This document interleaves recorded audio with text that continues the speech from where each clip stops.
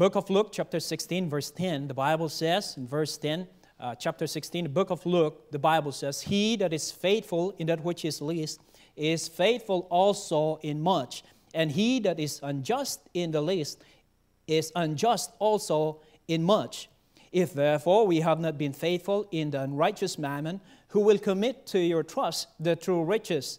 And if ye have not been faithful in that which is another man's, who shall give you that which is your own?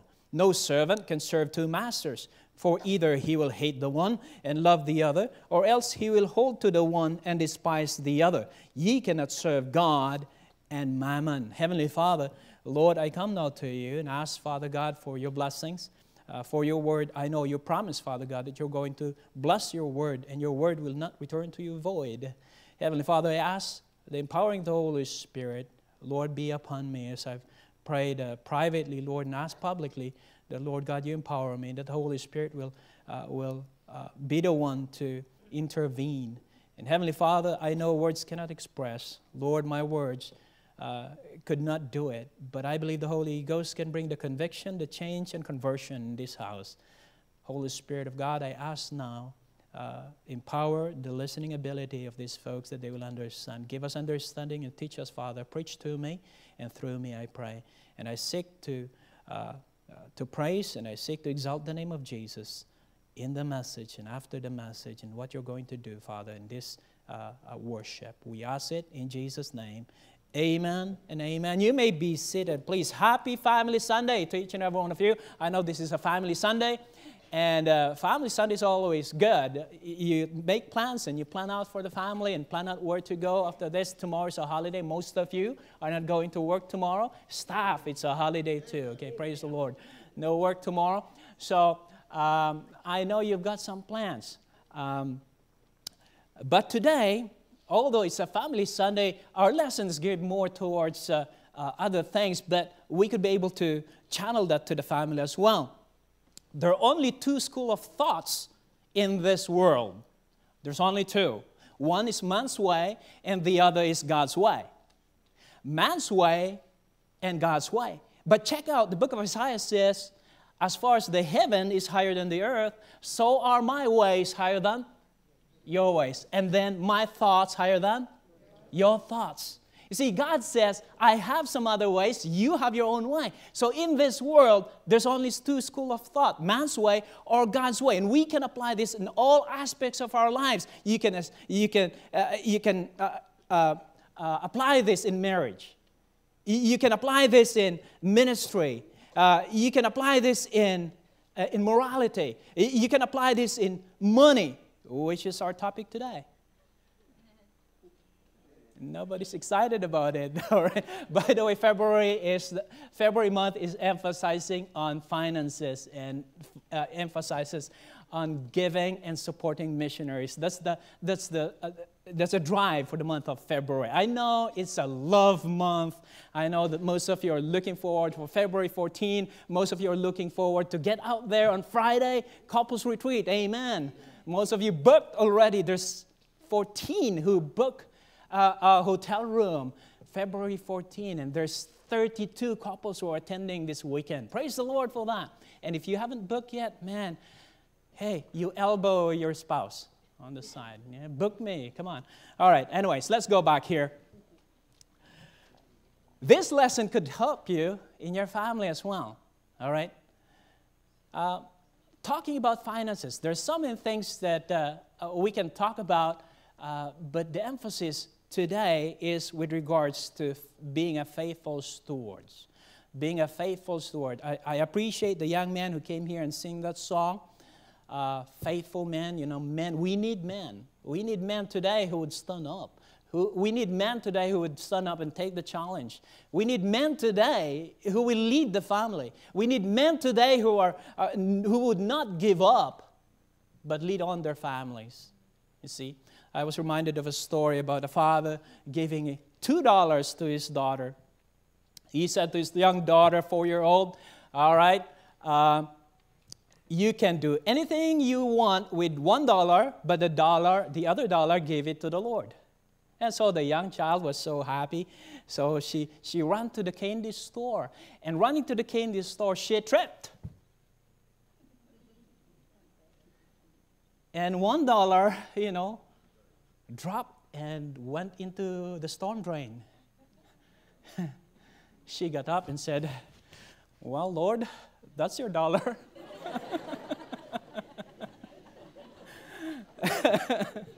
well, today we're going to teach you, hopefully, I would like to encourage you not to lose God's dollar. All right, not to lose God's dollar. Uh, consider the following statements of the wealthiest people of their day and recognize that wealth is not what the world perceives it to be. Listen to these millionaires and billionaires at the end of their day. This is what they said.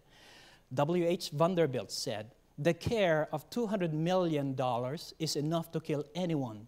There is no pleasure in it. John Jacob Astor, one of the millionaires here in uh, the Northwest, said, I am the most miserable man on earth. John D. Rockefeller, one of the millionaires too, he said, I have made many millions, but they have brought me no happiness. Andrew Carnegie, a millionaire, said, Millionaires seldom smile. Henry Ford, the maker and founder of the cars that you drive, he said, I was happier when I, when I was doing a mechanic's job. You see, people perceive that when you have there, when you have the millions and you have all these gizmos and all these things in this world, you will be happy, but not so. In the Bible, there are three cons- considerations to help us understand the roles of a steward. We, as a steward of what God has given to us, we have to recognize that God has given us some roles. And the first one here is being number one in your outline the purpose of a steward. What is the purpose? What's your purpose? Why are we here? Why did God so bless us so much with these material things? Uh, last Sunday, I, I don't know who, but somebody preached that, you know, if you earn $20,000 a year, you're in the top 2%, is that right? 10%.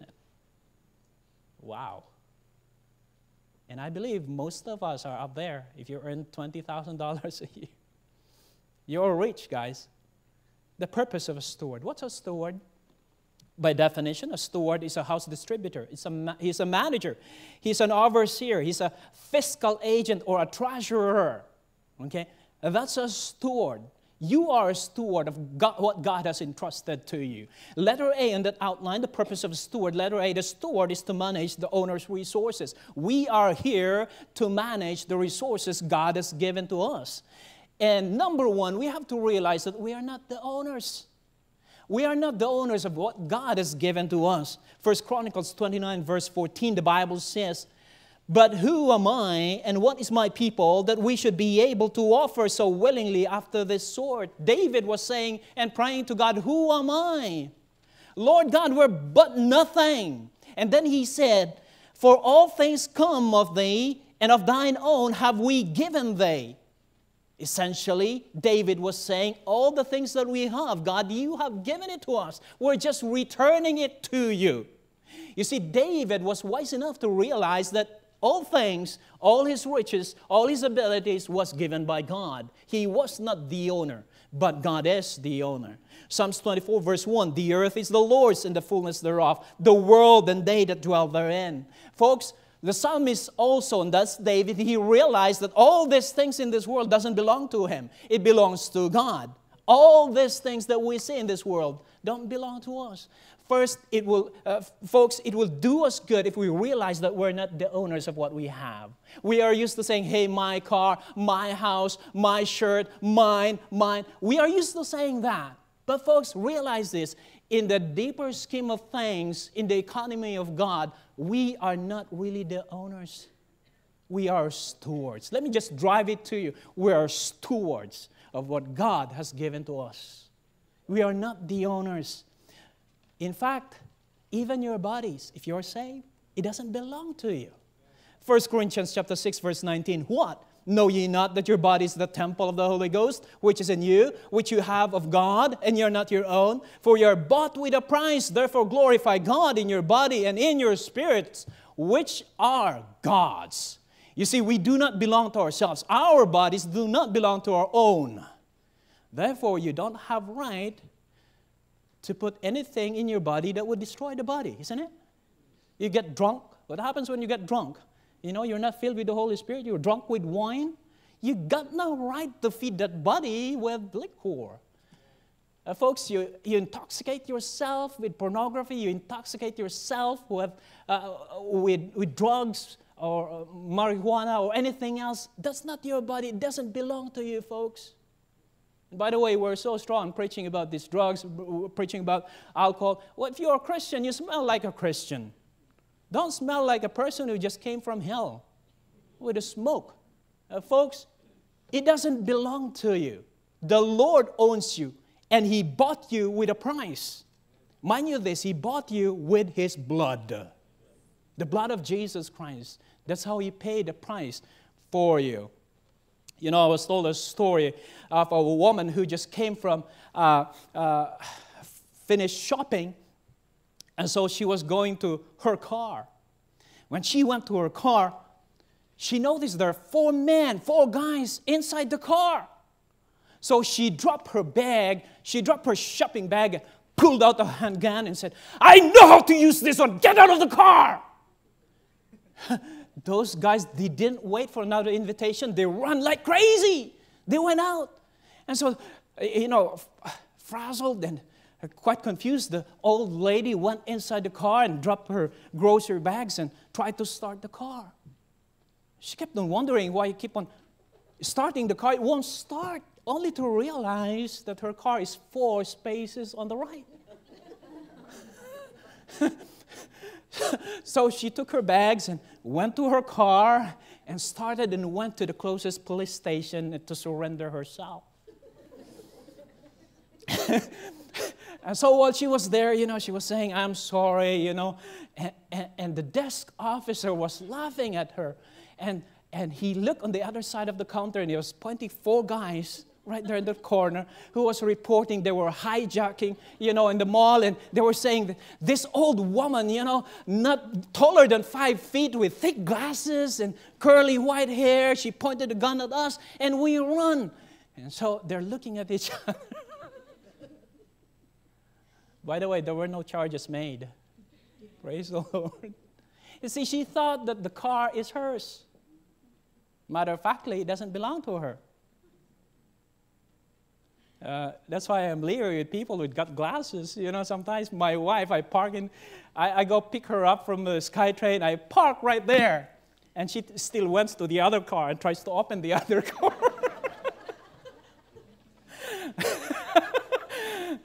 Well, the same color, black cars, you know. Apparently, girls, they don't know, they, they don't care if it's a Kia uh, or it's a, um, it, it's a, it's a Dodge, as long as it's black, they're all the same, you know? it doesn't matter if it's a BMW, Kia, they're all black to me.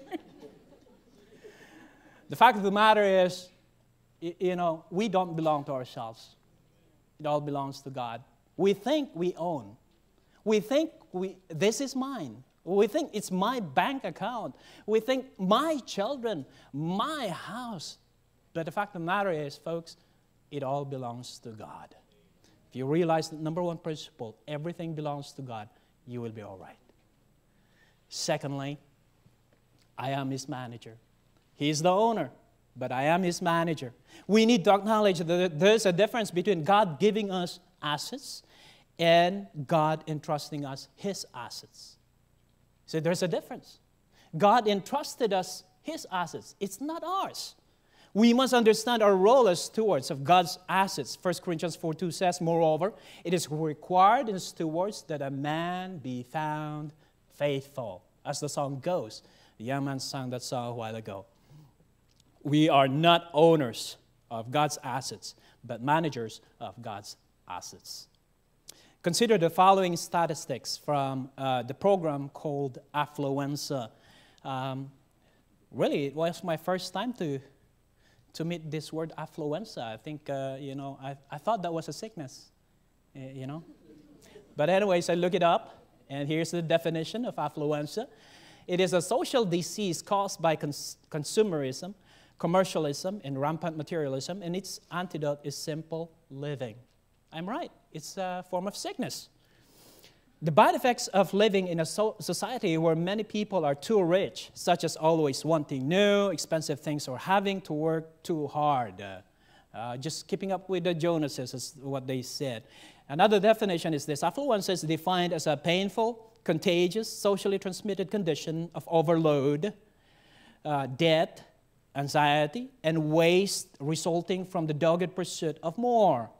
Another definition is this uh, affluenza, affluenza has also been used to refer to an inability to understand the consequences of one's actions because of financial privileges.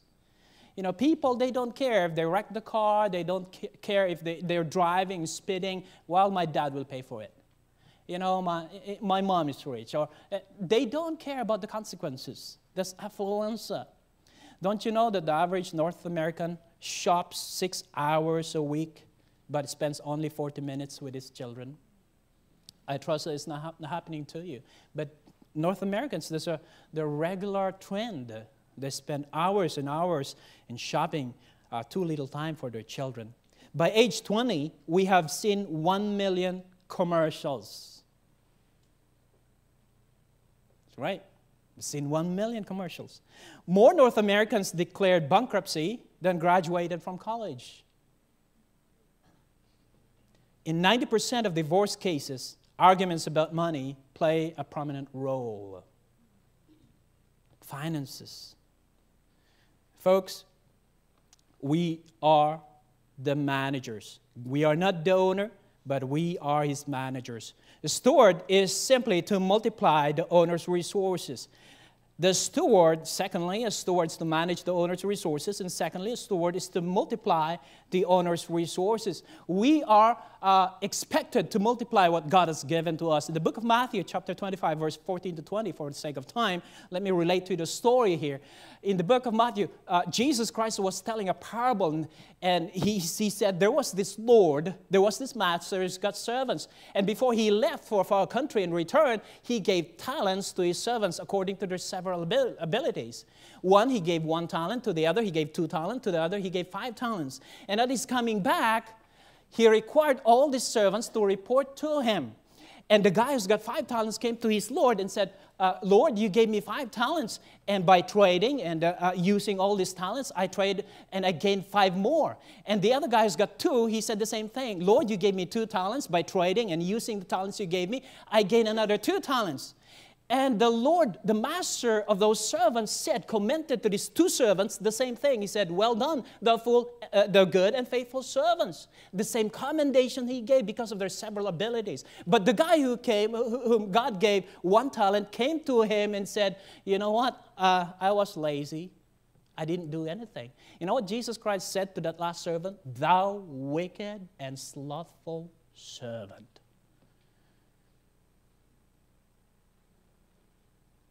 God expects us to multiply His resources. How? Making a sound investment. Making a sound investment. Give them back to the Lord. Give them right back to God through tithes, through missions, and offering into the work of God. Somebody said, The only investment I ever made, which has, which has paid consistently increasing dividends, is the money I have given to the Lord.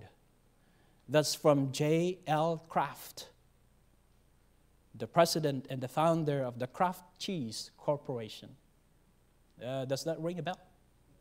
Do you make mac and cheese? My son's favorite is mac and cheese. So remember, whenever you, you, you make that Kraft, you, you know, mac and cheese, remember what he said the only investment I ever made which has paid consistently increasing dividends, is the money I have given to the Lord. Making a sound investment. But secondly, how are we going to increase what God has given us? By not being wasteful or simply by saving. Okay? Sound investment and by saving. Do you really need that extra cup of coffee yeah? yeah, I need that a cup of coffee. I understand. I know, if, especially if you're not a morning person, I need to be awake. But do you really need to ex- spend that kind of money? Do you really need to go to a, to a you know, what, high, you know, high kind of stores instead of going to a thrift store? I know. Yeah, consignment. Do you really need to have, eh, eh, you know, the branded clothes instead of using the regular ones? Savings. My son, okay, I'm not telling who. he worked four to six months, and at the end of the day said, Where did my money go? yeah, he earned decent, uh, kind of, uh, you know, decent job and earn decent living. And so he decided to account where his money went, you know, for the last three months. So he took his debit debit uh, report, I mean, the monthly report, and took it out and then categorized all the expenses, where his money went. Okay? Where did it go? And so he, he started, you know, from this month and this month, three months averaged it. You know where money go? Number one there, top the list, is eating out in restaurants.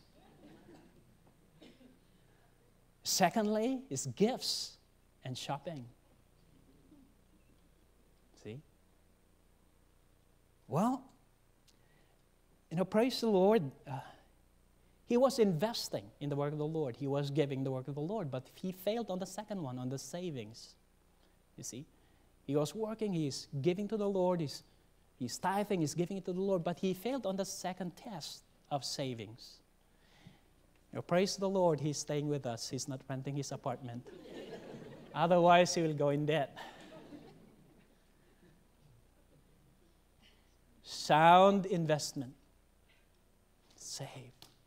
You know, God save you from sin, and some of the sins are habits.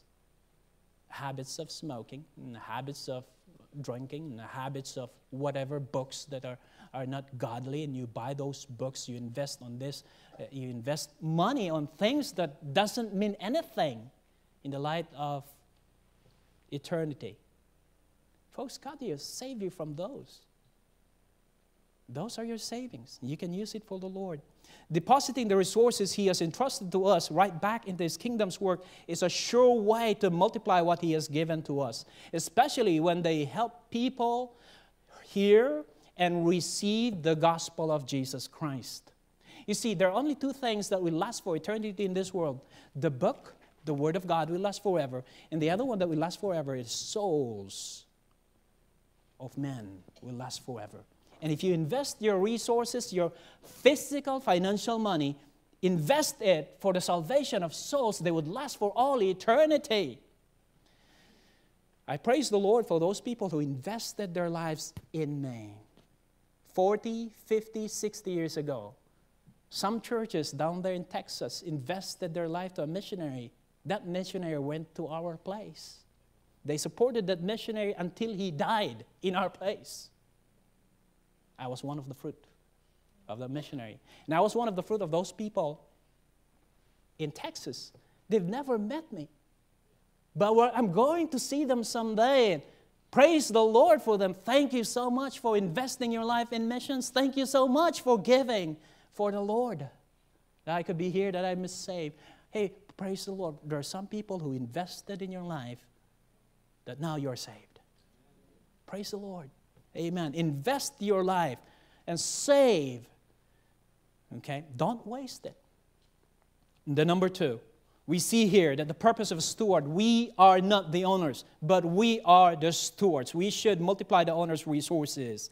And then, secondly, the parable of the steward. What's the parable of the steward here? In the book of Luke, Luke chapter 16, in our uh, text, Luke chapter 16, verse 1 to 8. Let me just read it to you. Let's go there, please. And he said also unto his disciples, There was a certain rich man which had a steward, and the same was accused unto him that he had wasted his goods. Verse 2.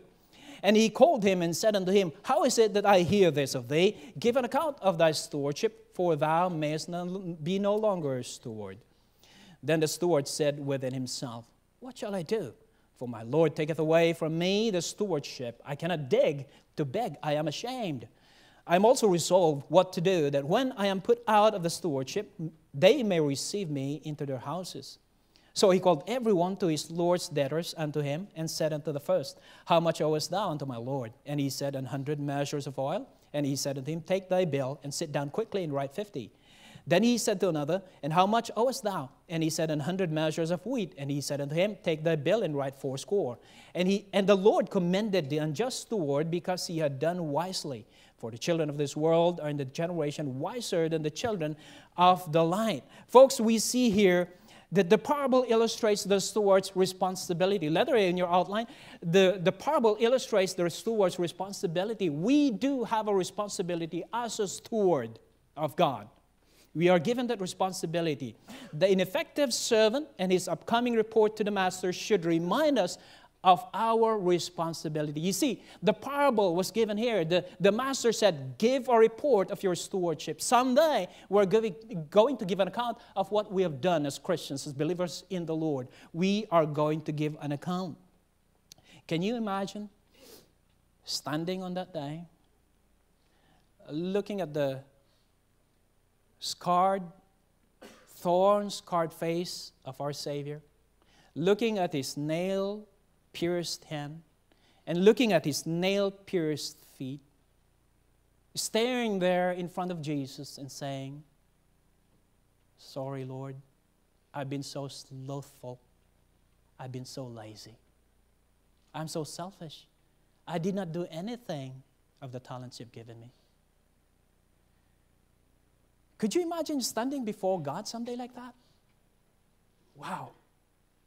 And all our excuses now, all our excuses of not giving, of all the excuses of, well, I'm offended, well, I don't uh, all those excuses will pale in comparison to what you're going to face up with with God in total shame. Just because we've been selfish. Just because we fail to manage the resources God has given us.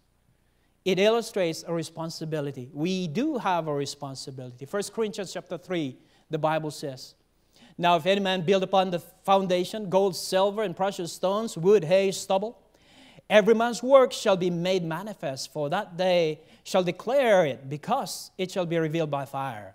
And the fire shall try every man's work of what sort it is. If any man's work abide, which he hath built thereupon, he shall receive a reward. As stewards, we have responsibilities to give. Consider the following givers. Consider these following people. Givers, what they said about giving to the work of the Lord. They gave their time, their talents, their treasures themselves. Consider what they said. Oswald Chambers said, With Christ, it is not how much we give, but what we do not give that is the real test. The real test is not really how much we give, but how much we keep. F.B. Meyer said, He's the richest man in the esteem of the world who has gotten the most. He is the richest man in the esteem of heaven who has given the most. Amy Carmichael said, You can give without loving, but you cannot love without giving. So if you love the Lord, you cannot say you love the Lord without giving. Winston Churchill said, We make a living what we get, but we make a life by what we give. Karl Menninger said, Generous people are rarely mentally ill. And then somebody said, The happiest people on earth are the people who have discovered the joy of giving. And if you haven't observed that one yet, go to the nursery class. The most unhappiest kid there are the people who says, Mine. It's mine. That's mine too. Those are the happiest kids. I don't know. I'm just making fun of your kids, but you know, it re- reflects our ways as an adult, you know? Uh, folks, I'm just show, sharing it to you that the happiest people are those people who have realized the joy of giving. This parable illustrates the steward's reward also. Notice, the steward who was functioning irresponsibly changed his mind. At one point in the parable, the steward said, Oh no, my master is going to take away my stewardship. I have to do something. And folks, we have to realize that God is giving us second chances. Folks, in essence, God doesn't re- really need our money because everything belongs to Him.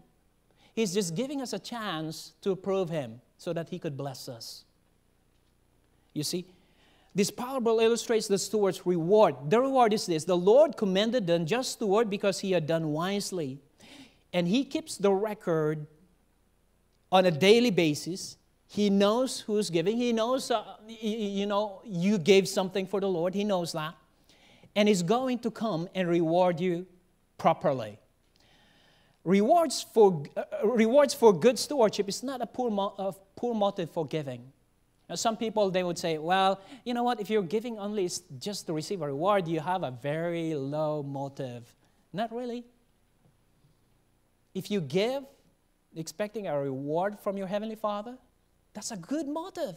Otherwise, He did not write these verses. He listened to these verses. Give, and it shall be given unto you. A good measure, and pressed down, and shaken together, and running over, shall man give unto your bosom. For with, with the same measure that ye meet withal, it shall be measured to you again.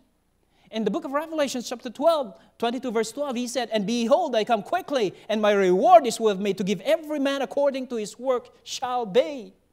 See, Jesus Christ said, I have the rewards with me. I know you've been working. I know you sacrificed your life. I know you died for me. You died as a martyr. I know I have my rewards with me. Folks, if your motivation to serve God is for rewards, that's a good motive. Although we should serve God because we love Him, that's a, that's a greater motive. But, folks, serving God, giving to God to be rewarded of Him is not a bad motive. This parable also illustrates that we will be given a reward. And then number, number three on your outline there, the principles of steward. We have studied the purpose of a steward. What's the purpose? We are, uh, we are not the owner. We have to manage the resources. We have to steward or to multiply God's, uh, uh, God's resources. And then we studied the parable of the steward in the book of Luke. The parable illustrates the steward's responsibility, and we do have also rewards at the end of the day. But thirdly and lastly, the principles for a steward. What are the principles here? There are four principles that God has given us in this particular book. God closes his story with some principles that we can learn. Number one, the principles of proprietorship. The principles of proprietorship. What is this? Proprietor is someone who holds property as a landlord or shopkeeper. You're a shopkeeper, you own, uh, you don't own the shop, but you keep it for somebody. You know, somebody is is owning that shop, uh, like some of you are. Uh, you go to work, you don't own the company, but you work for them. Uh, a proprietor is kind of like higher than that, uh, the boss of uh, the company, but he doesn't own the company. Luke chapter 16, verse 10 He that is faithful in that which is least is faithful also in much, and he that is unjust in the least is unjust also in much. We are proprietors who manage God's property, and we are on probation you see. And he is finding out how trustworthy we are so he could be able to entrust to us the true riches. If he can trust us with his money, if he can trust us with the resources, the time, talents, and treasures that we have. By the way, we're not only talking here about money, we're talking about time, talents, and treasures that God has given to you. If God can entrust you those things, imagine what other amazing things he could entrust you with. Imagine that, you see. And then, secondly, the principle of ownership. We've touched base on that a while ago, but let me just go through it. Anyways, the principle of ownership. Notice verse 12. And if ye have not been faithful in that which is another man's, who shall give you that which is your own? If you're not faithful of what God entrusted to you, how can God entrust you your own things? Okay, an example here. You are, pretend you are a, an owner, a CEO of a company. Brother Jeps, let's pretend that you are the boss, the big boss. You own that company and you're looking for an accountant. Okay? So, say for example, you're here and you're advertising, hey, I need an accountant who passed the CPA board exam and uh, who is very good on accounting and has so many years of experience. And somebody comes to you and you read uh, his resume, and all of a sudden you come to one point. It says, uh, he's filed bankruptcy. He's filed bankruptcy. Okay? My question to you, Brother Jeff, what chances are would you hire that person? No. Because it will remind you how, you know, if this guy could not take care of his own personal finances and file bankruptcy, how can I trust him, my multi million dollar company, to him as an accountant?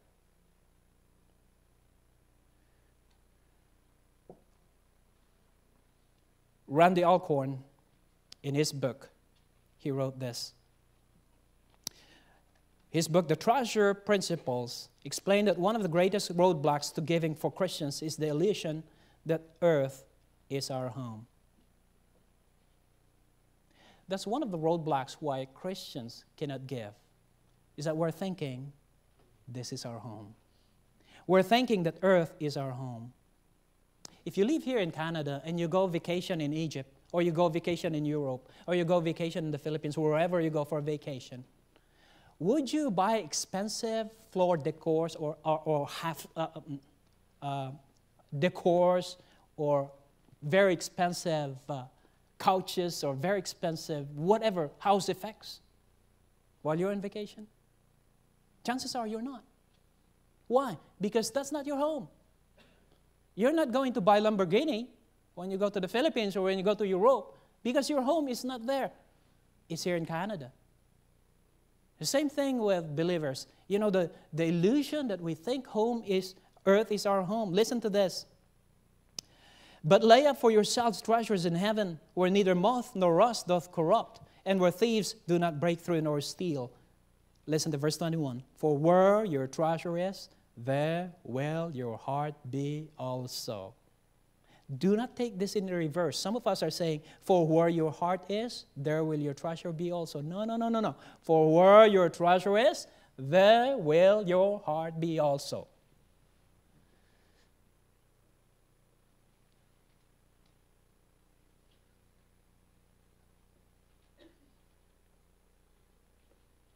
The principle of ownership. When it comes to finances, some Christians think or believe they have the right for more. If you're not faithful in your, if, if you're not faithful in your tens, how could God trust you of your hundreds? Um, we think that we can spec or we can manage six digits figures, but you cannot be trusted with your thousands.